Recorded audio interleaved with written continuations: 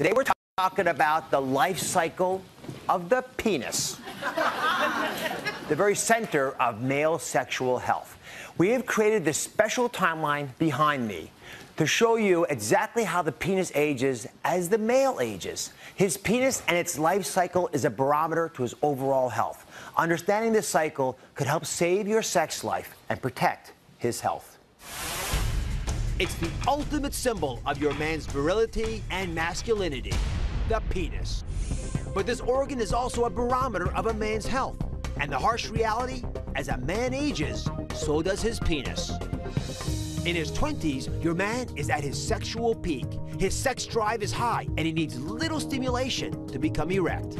But as he moves into middle age, his testosterone levels begin to drop, and his penis loses sensitivity, making it harder to have an erection and reach orgasm.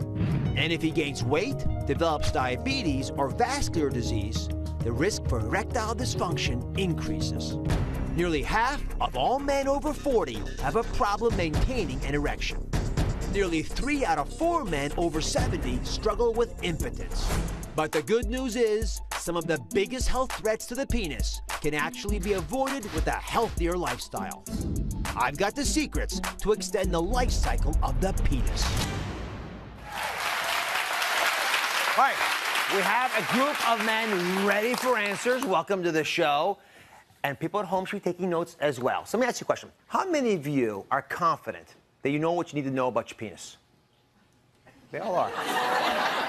Typical male experience. Often error, never in doubt. All right? So, guys, this is your life.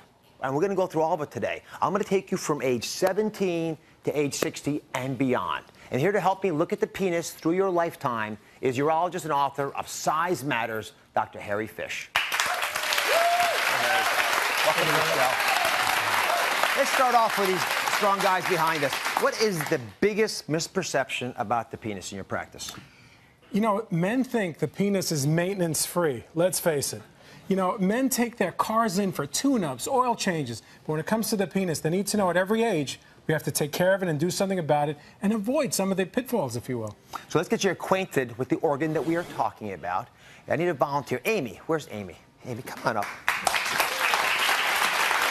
Welcome, Dr. Fisch. Hi. So, Amy, here's some gloves for you. Is your husband behind us over there? Yes, he is. Where is right he? there. There he That's is. Okay. There's your, there's your girl. You'll, I hope you see that after we're done. so, Amy, I don't, does this uh, does this look familiar to you? It doesn't look familiar No, to me. No, not that. This is yeah. This is not what it looks like normally, but this is what a cadaveric penis looks like, and I used it for one specific reason. Go ahead and you can sort of appreciate the fact that it's got some Cold. yeah cold. Very cold, yeah. Not what you want to be dealing with normally, No. but if you look in the end here, you can sort of see that there's some soft area, sort of a spongy area with an outer casing. Yes. And that's important. There's the urethra there. That's where the urine comes through and the semen comes through.